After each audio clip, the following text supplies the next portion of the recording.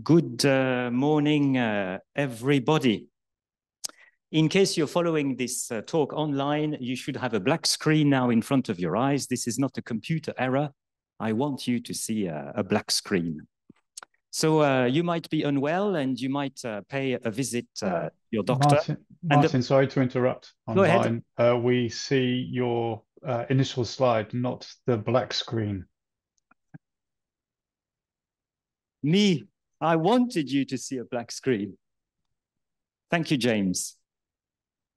A black screen you will see.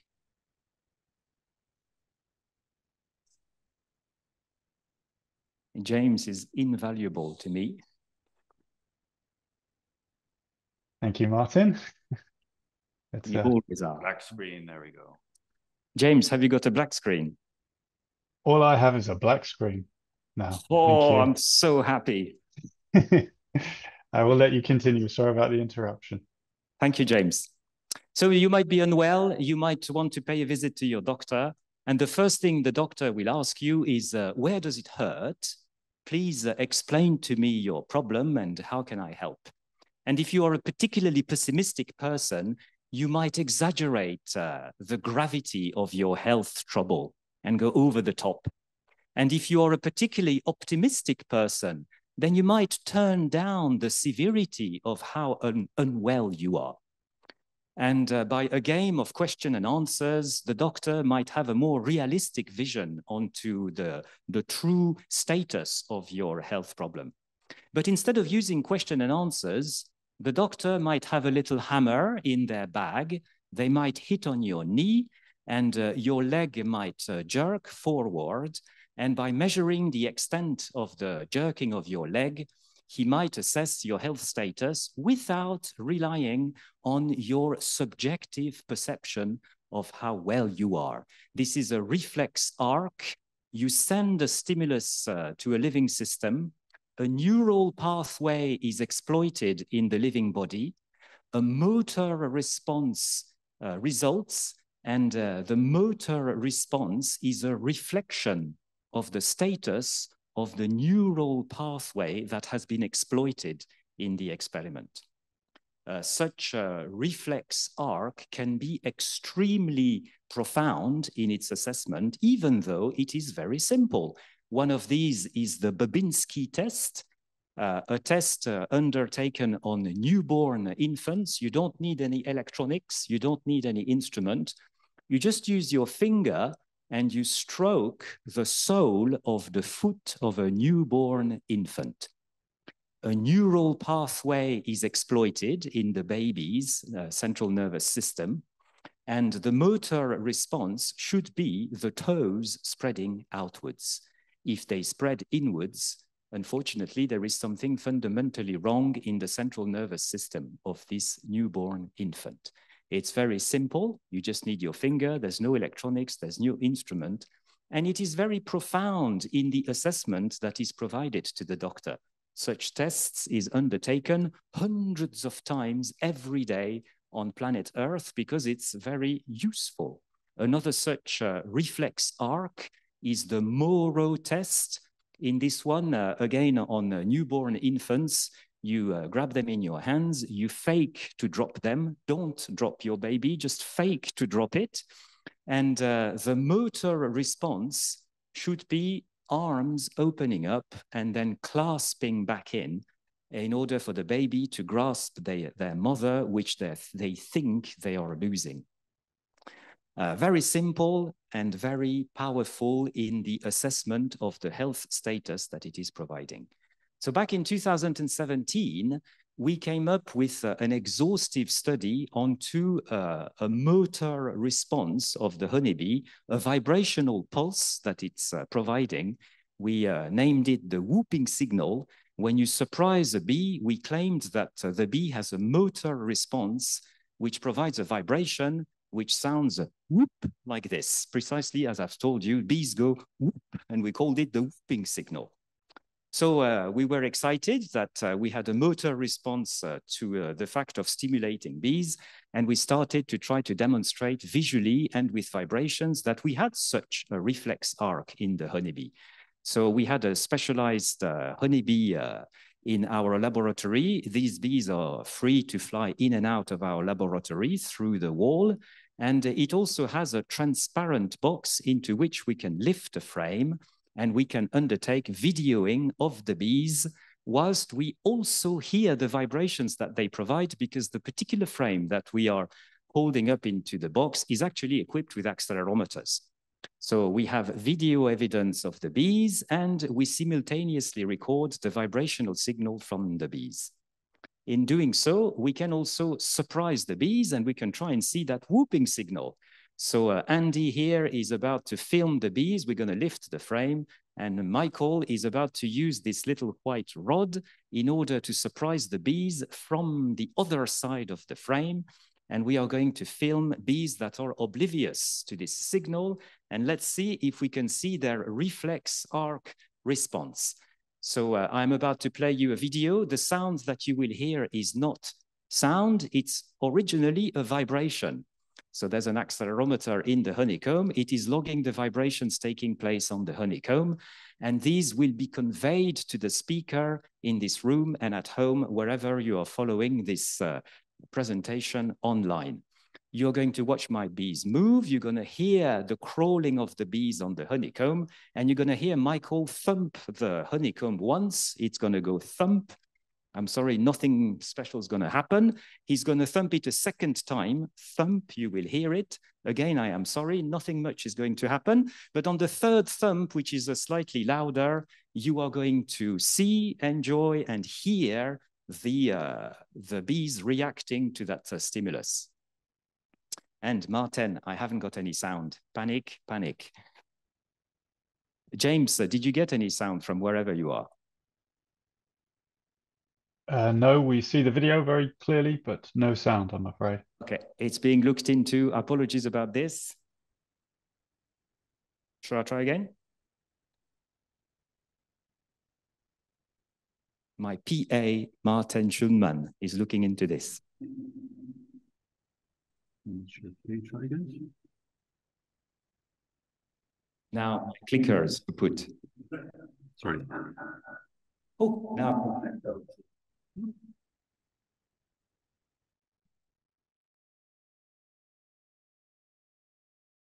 Bim. Or we can organize this.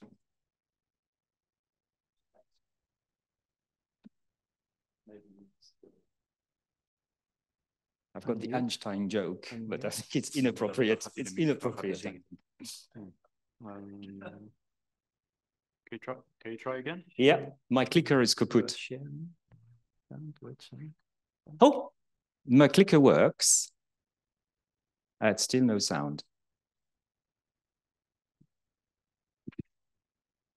It worked just now. I've got mega assistance now. Five of us on the case. For those of you who can't see this, super exciting.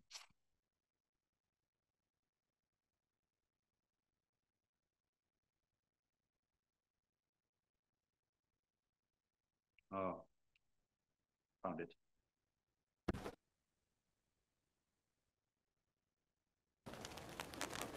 Thank you. Oh, wonderful. And would you mind pumping it up a bit? Is there? Um, yeah, I'll put it up. Oh, thank you, thank you, thank you. We hear it online too. Oh, thank you, James. Here we go. The bees that you see them, uh, you're going to hear the vibration. And you, you're not going to see Michael. He's behind the honeycomb. And Michael is going to thump the bees three times and watch the bees on the third thump.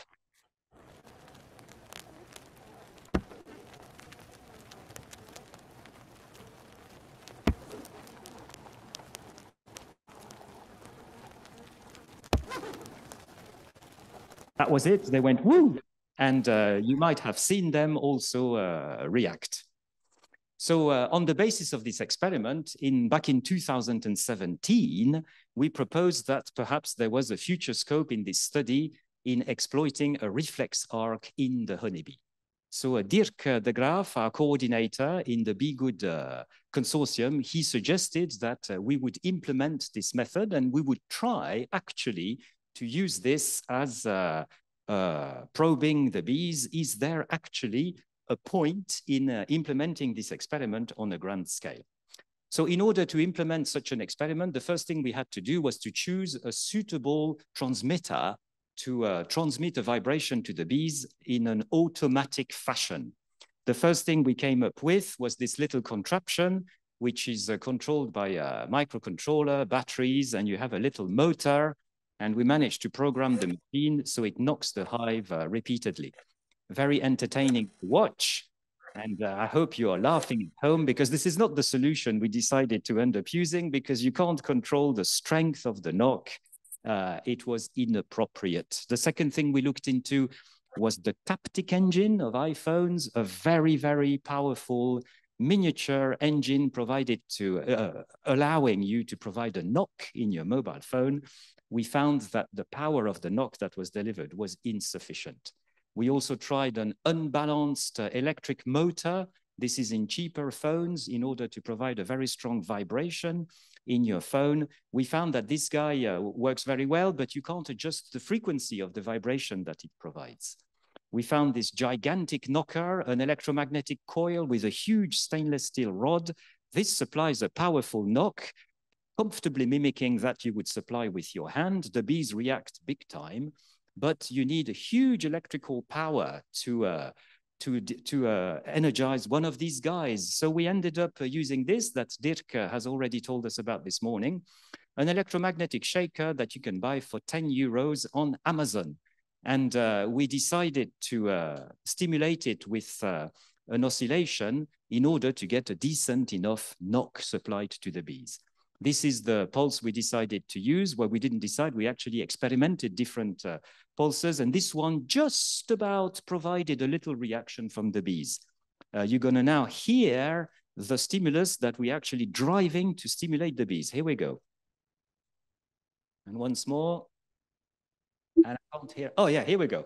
It sounds like a submarine. Uh, you are now in a submarine with me. Let's play it once more. There we go.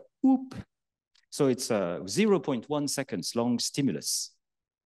And in order to do it outdoors, we had the electromagnetic shakers, which were protected in uh, little lunch boxes, carefully glued by Adam in order to prevent the weather from damaging them.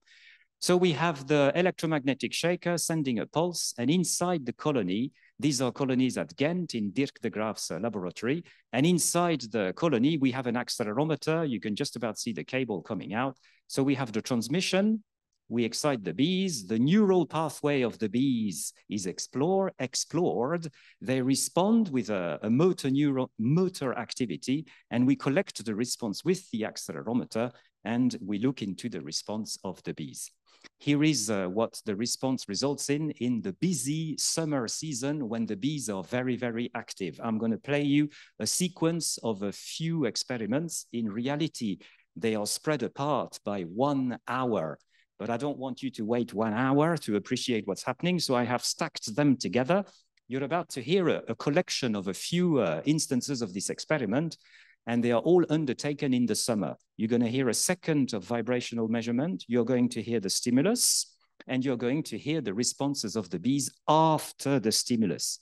What you will hear is recorded from within the colony with an accelerometer.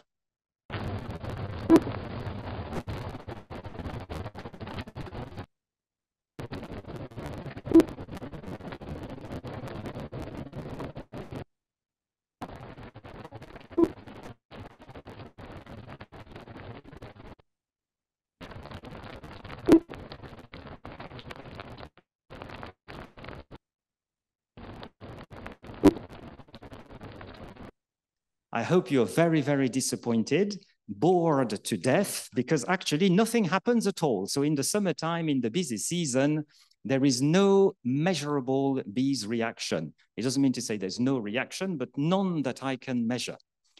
So uh, this is for the summer, and uh, you're probably starting to switch off from my talk now, but come back, please, come back, because here's what's happening in the winter time. So here's a collection of measurements in the winter.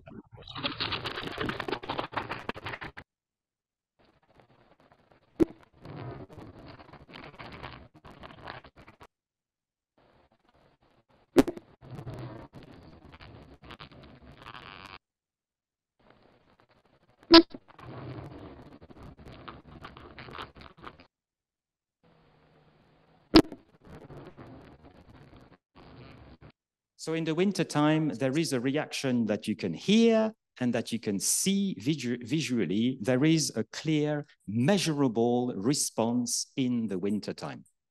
Here is a collection of uh, hundreds and hundreds of stimulation. On the top of the graph, from zero to one, you have one second of uh, buzzing of the bees before the stimulus. At one second, the horizontal red line is the stimulus, and I have clipped it. It's very uh, clipped. I'm sorry about this, but we don't care. It's just the artificial stimulus.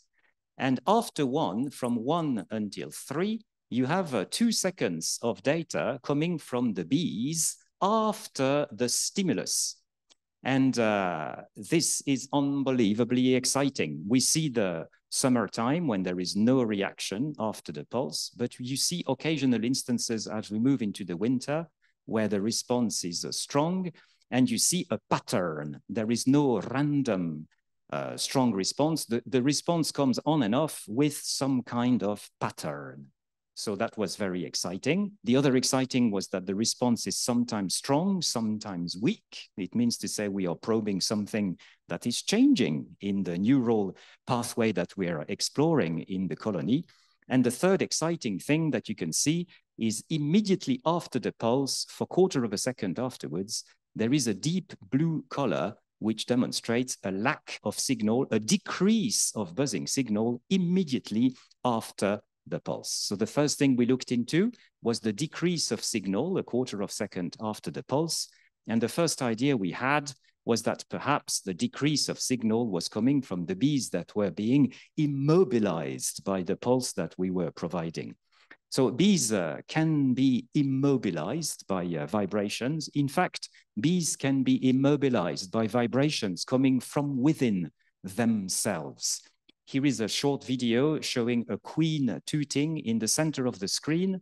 I'm about to show you a virgin queen who is about to toot on the honeycomb.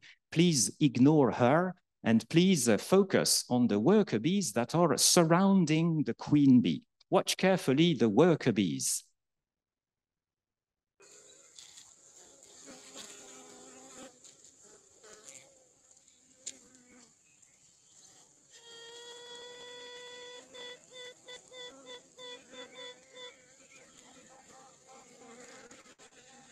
He's going to do it a second time.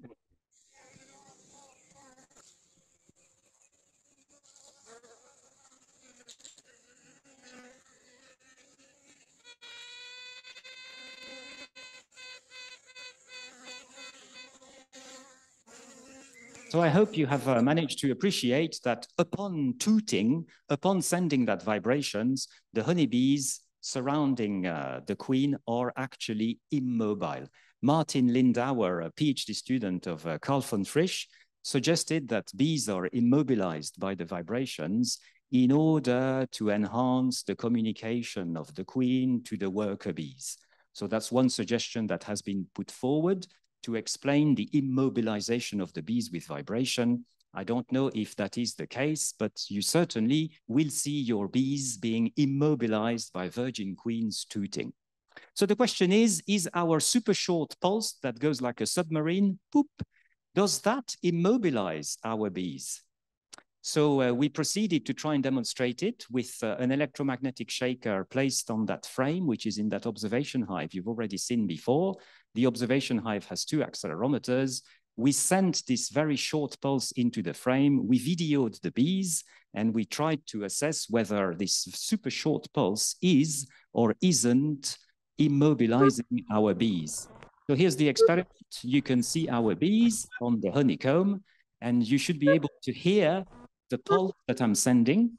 And if you watch carefully, you might, might not see the bees being immobilized for a tenth of a second. We were excited. We thought this is maybe working. So we decided to try to quantitate the mobility of the bees.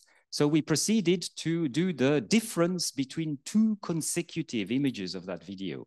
If the bees are immobile, if they don't move at all, then two successive images will be identical and the subtraction will provide a zero. Whilst if the bees are mobile, two successive images will be different. The bees will have moved from one pixel to another, and then the difference will not be zero. So here is the processing of the, the video. The video is now on the left. On the right, you can see the difference image of between two consecutive images. And uh, watch on the bottom graph, you want to watch the green curve. The green curve is the average of this um, difference image. So each time the green curve goes down, it means to say that uh, the bees have been immobilized. And the how deep green curve goes down is how much we have managed to immobilize the bees. And so we were very excited to see that uh, we had quantitative ability to uh, demonstrate the immobilization of the bees with the pulse that we were driving. We also changed the frequency to observe the optimum immobilization that we can achieve. So the good news is that uh, we can demonstrate the immobilization phenomenon. The other good news is that the immobilization is maximized immediately after the application of the pulse, allowing us to have a superb assessment of the mobility of the bees. We also recorded the exponential recovery of the mobility of the bees. It's got a time constant of one second.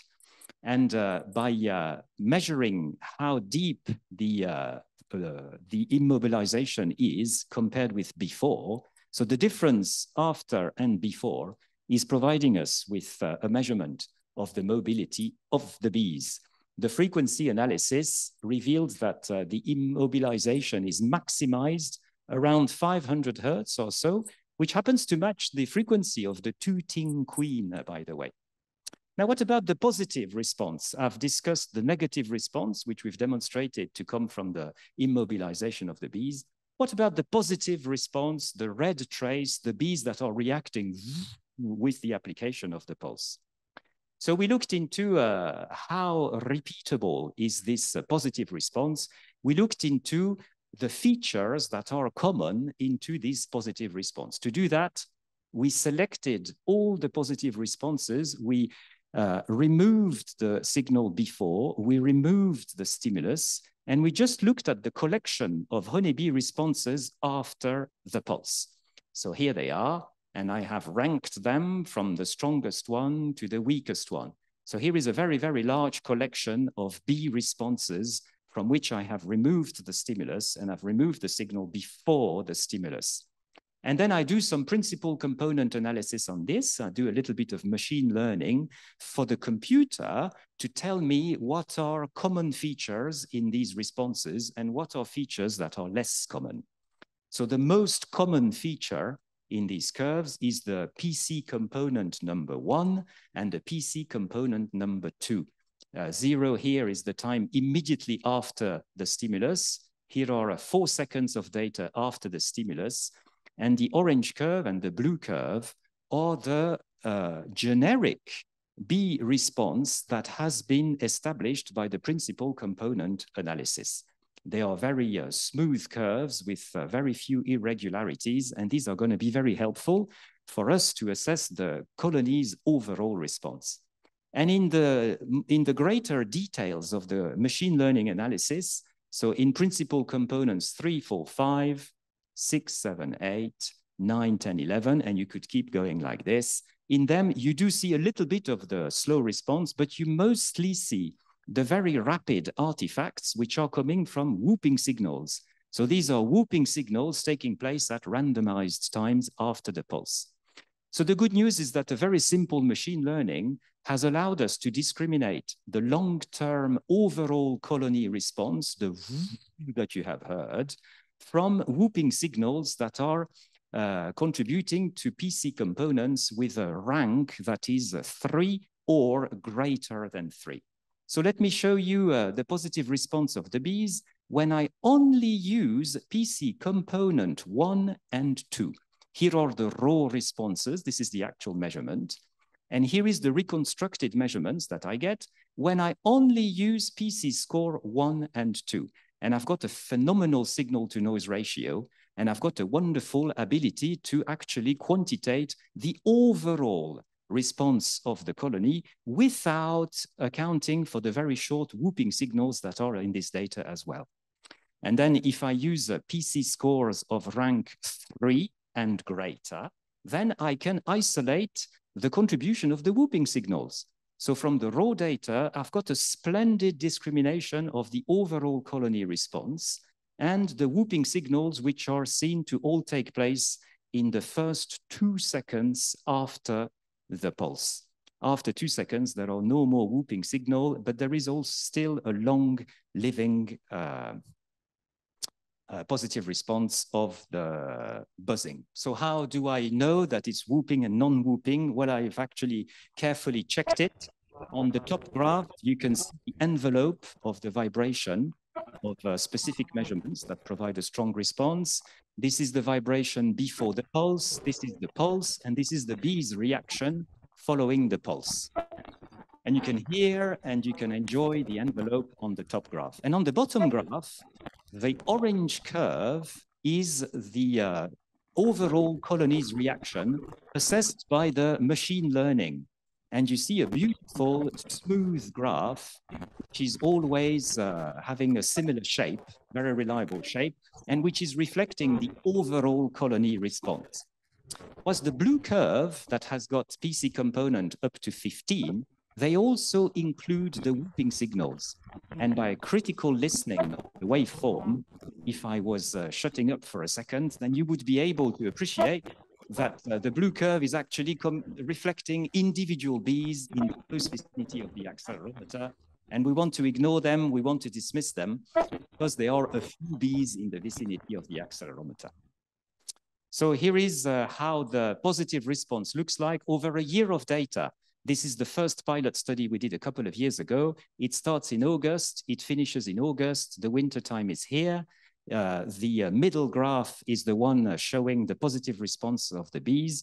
You see boring, nothing happening in the summer, nothing happening in the summer. You need a, you see a huge response in the winter.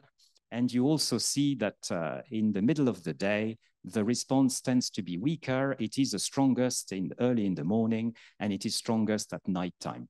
The top graph, very briefly, is showing you the magnitude of the vibration that we managed to drive into the bees, even though we drive the very same vibration outside the box.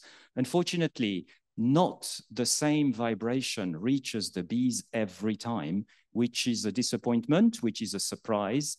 Not only does the vibration uh, magnitude change over the season, it also changes within one day, strongly suggesting that the presence of the bees on the honeycomb is actually affecting our ability to drive the vibration. But fear not the quality of the results, please, because you can see that even in instances here in mid-December, where the vibration that we managed to drive is extremely weak, we still have a huge response from the bees. And in instances in October, where the vibration is very strong, you see no response from the bees at all. So even though I am sorry about the variations that you see on the top graph, trust me, this is a meaningful graph. We have reached the threshold required to stimulate the bees, as demonstrated in this lack of strength here in December, as demonstrated by this strong vibrational pulse here in October, providing nothing. So I would uh, trust by all means the middle graph that you can see. This is the first ever uh, reflex arc of the honeybee measured over more than a year on a pilot study. And then uh, we uh, ex exploited this technique over eight colonies in the United Kingdom belonging to the B-GOOD EU uh, funded uh, project. We did it also in Belgium. We did it also in Portugal, but I'm only going to show you the data in the UK. Uh, so these bees are now uh, outdoors, there's eight of them, and thanks to the B-GOOD project, they are now also carefully inspected manually every three weeks. So not only did we undertake this experiment over eight colonies, but in addition to that, thanks to the B-GOOD project, we had phenomenal, uh, careful inspection of the colony status every three weeks over the time duration of our measurement. And so we, of the eight colonies that we monitored, one underwent severe health deterioration. And we have very careful logs of this colony becoming queenless, uh, us trying to requeen her. The requeening works for two weeks, and then the queen uh, disappeared again, and this colony deteriorated until failure in September. So we have eight colonies, seven of them uh, were healthy, or one of them became queenless and uh, remained uh, queenless in spite of our efforts for the summer. So a scientist's dream would be to see the positive response being different for the hive that was queenless. And a scientist's, scientist's dream would be to see the seven other colonies to have a similar response, but different from the one of colony three. So that's a dream that never happens in science, except for today. Today it will happen. So here is colony one, two, where these seven here are healthy. Colony three is the one that became queenless, and we sustained the measurement all over the summer. And I cannot believe my eyes. This only happened in my dreams until today. But the one and only colony that became queenless and that was unhealthy is the one and only colony that has a huge positive response in the summer. Whilst in the summer, as I've already warned you before, the experiment is boring on any healthy colony. And uh, upon replacing it on September the 21st, we replaced this queenless colony with a healthy colony. And on September the 21st, suddenly the positive response disappears. So uh, here is uh, the uh, magnitude of the vibration driven into the eight colonies across the summer. This is May, June, July, August, September. And the blue curve, the blue curve is the magnitude of the vibration averaged every day, driven in colony number three, the one that is uh, queenless. So the magnitude of the vibration that we drove into the queenless colony is not particularly high and it's not particularly low. So the vibration that they received is average. And yet the positive response of the bees, so this is the positive response of eight colonies averaged over one day. And the one that is uh, queenless has a substantially stronger reaction that you can easily discriminate from the other seven other colonies. So something uh, I've never seen in my life as a scientist, this is the absolute ideal experiment. What we were hoping to see is uh, actually seen in front of your eyes.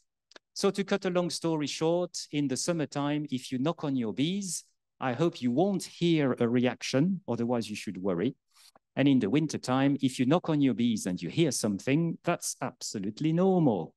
My uh, collaborators are in yellow. I thank them infinitely for helping me with this uh, study. And the floor is open to questions. Should I have the time, enough time to take questions? I don't know how I did with my time. There is time for questions. So thank you, everybody. Questions?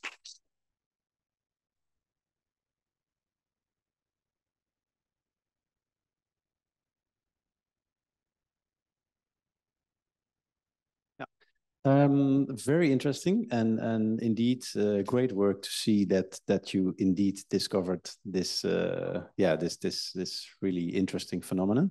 Um, the the fact that um, the the red lines that you showed the the stimulus um, in one of the first stimulus charge where it was unfiltered, it it seemed that in summer the stimulus was a little bit less heavy or perceived less heavy maybe. Um, yeah. One, one. Thank you for the for the remark. So in the summertime, you see a very faint. Uh, you're absolutely right, Pim. Pim is absolutely spot on. He's got the eyes of a scientist, and uh, he has spotted that uh, the little reaction that we occasionally get in the summer, early in the morning here and here, there's a it's a genuine phenomenon. It's not noise. You can see it because it's there's a trend to it you can see that this mild reaction is weaker than the huge one that you get in the winter. So you are absolutely spot on, Pim. And I forgot to uh, remark that uh, the lack of signal, the bee immobilization that we've discovered, we have actually demonstrated it experimentally. With regards to the positive response of the bees, what you can see is a phenomenological assessment of that response. We have no mechanistic explanation for that response. We have just uh, discovered it, and we are just eluding the features of this signal. We do not know the physiological aspect that this response is revealing. And uh, you've spotted an interesting uh, phenomenological feature. In the summer, the weak responses that we occasionally get in the morning are weaker than in the winter. You're absolutely spot on, Pim. I don't know why and how. Okay, thank yeah, you. thank you, Pim. A silly question, in fact, but I but I saw on the top of your slide that says how the bees can detect it with a eight legs. Yes. so I thought that you put that on purpose there.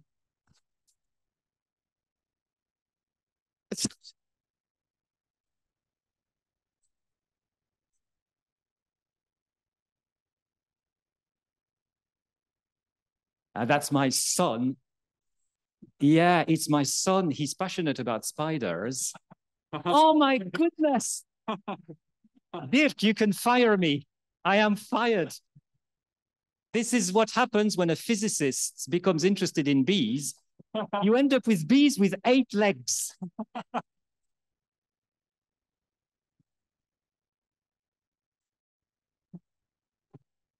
I won't have dinner next to you tonight. I'm offended. Yeah.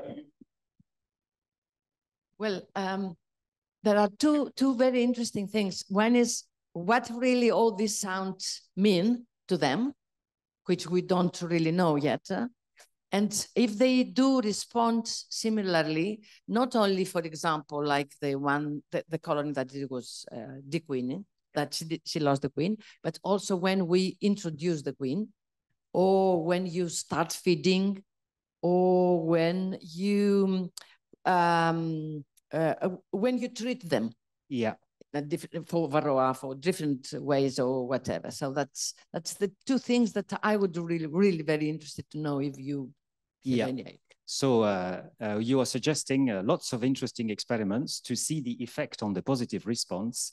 I am delighted to say that Luke Chamberlain in this room is my new PhD student on the job for you for the next four years. Luke can uh, explore these uh, fascinating questions. We've only just demonstrated the phenomenon. In fact, we didn't demonstrate it. This is done uh, for thousands of years by beekeeper. What we have done is to quantitate and carefully look into the response of the bees. But knocking on your bees, listening to them is something that's been done for as long as uh, bees have been kept on the planet Earth. So thank you for the question. Do we have time for one more? Yeah. Uh, I think it's really cool that you managed to discriminate uh, those signals. Um, and I'm wondering, could you say two words on the difference between the accelerometer and uh, the use of a microphone as it is used in the uh, in the beep system? Is it only the location or is it the, the frequencies it picks up? As in, Fantastic question. Thank you so much. So um, there is a very weak uh, lack of signal, which we attribute to the immobilization of the bees. Even with an accelerometer, this signal is weak. And uh, even by critical listening, you will not perceive it. So if I play you these tracks uh, with the high quality headphones, you will not be able to perceive this drop of signal, even though you can see it here. So in my opinion, the immobilization feature of this new experiment cannot be undertaken with a microphone, in my opinion, but uh, it's worth a go. The strong uh, positive response that you get, you can hear it with the accelerometers. You can hear it with your own built-in ears in your brain. So put your uh, hear, uh, your ear against the hive. You will hear when you, you when you hit them. So that strong positive response which is uh, the exciting one so far for the uh, the queenless colony, that could be well measured with microphones. So in my opinion, the technique is uh, applicable to being received. The motor reaction of the bees can be indeed recorded with a microphone. And the beep system uh, could do it, provided that we consistently place the microphone somewhere in all hives. And the beep system can do it, provided that the beep system can uh, record for me the raw sound for three seconds every hour. Not a challenging technical uh, feature, so uh, I, I think uh, it should be uh, doable. And there was one more thing I wanted to say. Is it going to spring to my mind or not? The microphone, the positive. I can't remember now. So thank you so much for the question. Have I answered you? Yeah. Yeah, one moment. Zhao Dong.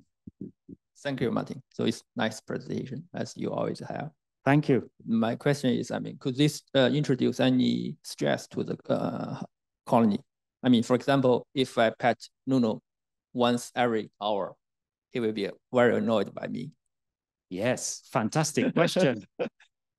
Am I annoying the bees like Zhao Dong would annoy Capela if he knocked him every hour? So when I came to choose uh, this signal, it took me half a day to choose this signal. I uh, sent, first of all, a knock. So in the electromagnetic shaker, originally, I sent a, a, a zero voltage followed by a step change to one and kept constant. So uh, literally a voltage knock. Absolutely nothing could be detected because the electromagnetic shaker is incapable of providing a knock. Then I had the idea of a sinusoidal wave, nothing happened. And then I increased the frequency of this wave until something just about happened. So the pulse that uh, you see here is uh, the one I've chosen because it was just about causing a mild reaction in the bees. So first of all, to answer the excellent question, I must highlight that the, all the results you have seen so far are using a pulse that just about annoys the bees or makes them to react. Secondly, a true honeybee hive, a true, forgive me, a wild honeybee hive would be in a tree, in a tree trunk, in a tree branch. That tree would be perhaps in a woodland. There might be wind and the branches might collide with each other. These would provide a vibrational shock wave much, much greater than what we have using. Thirdly, I have applied uh, the pulse uh, approximately every hour. And uh, the time course of the signal, as uh, demonstrated by the PCA scores and as demonstrated by the, the raw uh, waveforms, the time course of the positive response is typically three to four seconds. So you get a bee's reaction for perhaps three seconds, perhaps four. So it is hard to believe that uh, with a signal that takes four seconds to decay, it's hard to believe that you wait an hour, then you repeat the measurement, they're annoyed for another four seconds. It's hard to believe that you have disturbed the colonies substantially. But I think the, I think the, uh, the, uh, another corroborative evidence is perhaps a temperature measurement. So in the wintertime, you don't want to annoy your bees. And with a temperature probe, we could monitor whether the bee's physiological status has really been upset or not. And I strongly suspect I will do it. I strongly suspect that uh, you won't see any temperature change whatsoever in the colony following uh, the pulse. I see my boss is uh, standing up. Is it time, boss? Time for me to stop? It's, it's time to stop. Oh, thank yes. you, thank you for thank all your yeah, questions. I'm sorry, but uh, we are. There's, there's an online question. There's an online question. There is one, an, one, one online question, yeah, yes. Yeah. Okay. Uh, microphone. So we have an online question through the chat. Thank you very much. Uh, Mia Finsgar, do you want to ask your question yourself, please? Can you unmute your microphone? Okay, thank you. Uh, hello, um, Professor Bencsik. Uh, first of all, thank you for a very interesting presentation. My question would be, um, does the varying composition, contamination, adulteration of wax foundations influence the vibrations? And also the communication within the bee colony. Do we have any research about that? Thank you. Thank you. Uh, can I answer that, or do you want me to do it afterwards, Dirk? Uh, you can answer that question now. Thank yes. you. So um, the honeycomb status will affect uh, the vibration with the accelerometer. It is one drawback or advantage, as you like, of the accelerometer measurement. The uh, heavier the density of the honeycomb, the weaker the vibration you detect. There is a superb poster by Sumit Bajare this afternoon in uh, this uh, conference to demonstrate uh, to demonstrate the phenomenon. However, all the measurements I've shown, I forgot to say, the positive response that I've shown you is the difference between the buzzing after and the buzzing before the pulse. So I've shown you different uh, signals. But yes, uh, indeed, the status of the comb will affect my measurement. And this is where the microphone, for once, will beat me. You guys with microphones, you're going to beat me because uh, the microphone measurement will not be affected by the honeycomb status. So fantastic question. Thank you so much. And yes, this measurement is somewhat affected by the, uh, perhaps PIM that answers maybe the weaker signal in the summertime, maybe. And then the second part of your question is the communication within the bees colonies, is it affected by my pulse? So uh, my two answers is the trees uh, knocking each other in a, in, in a wood, in a wild colony suffering knocks, natural knocks. I don't think they would be bothered. They are random knocks and the bees would discriminate that this is a knock outside the colony. This is not someone communicating with me. But uh, it's an interesting point because if we believe Martin Lindauer, then uh, the vibration provided by the queen is causing the immobilization of the bees because they are listening to vibration. So I would say no, I wouldn't worry about it because the bees, in my opinion, will easily spot the fool knocking on their hives. Oh, this is a man, this, is this must be Martin knocking on my hive. This can't be one of my fellow bees talking to me. That's my subjective opinion. I, I think it's time to interrupt him.